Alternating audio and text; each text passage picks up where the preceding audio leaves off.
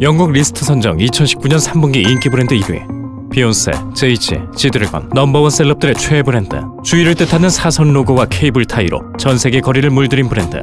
브랜드 백서의 두 번째 주인공 오프화이트. 런칭 6년 만에 high-end와 street을 모두 사로잡은 무서운 신예 오프화이트. 그 뒤엔 젊은 수장 버질 아블로가 있다. 2006년 시카고의 한 인쇄소.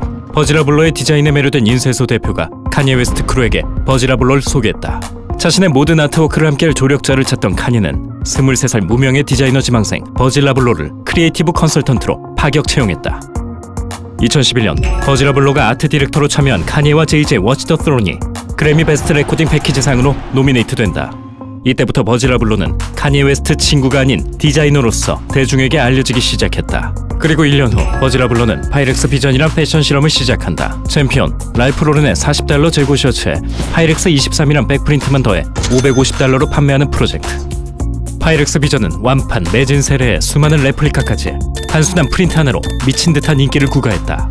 버질 아블로는 패션은 사람들이 원하는 걸 만드는 게 아니라 사람들이 원하게 만드는 것이란 자신의 말을 파이렉스 비전의 인기로 보여줬다. 파이렉스 비전의 성공을 바탕으로 보다 대중적이고 젊은 세대를 위한 브랜드 오프화이트를 론칭한다. 흰색에 가까운 무한한 변화 가능성을 지닌 색 오프화이트.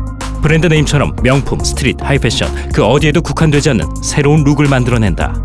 밑바닥에서 시작된 패션으로 새로운 목소리를 내고 싶었다는 버질 아블로는 사람들이 실제로 입고 다니는 옷을 살짝 비틀어 본인을 비롯한 사람들이 갖고 싶고 좋아하는 것을 만들고 싶었다. 버질 아블로는 오프화이트로 streetwear도 세련되고 특별할 수 있음을 증명했다.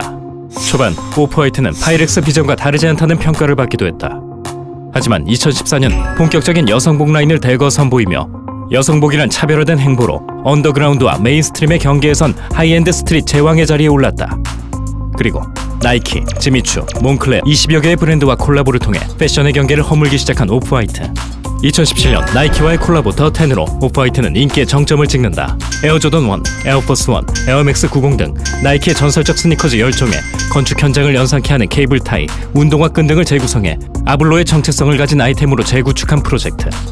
스니커즈 열 종은 발매하자마자 모두 매진. 현재는 resell가 10배를 호가하며 올 패션계를 강타한 뉴트로 열풍의 대표 아이템으로 자리 잡았다. 이후 이케아, 크롬하츠, 컨버스 등 연이어 콜라보한 브랜드들이 신드롬급 인기를 얻으며 아블로는 디자이너를 넘어 유행을 재구성하는 패션 설계자로서 자리매김하게 됐다.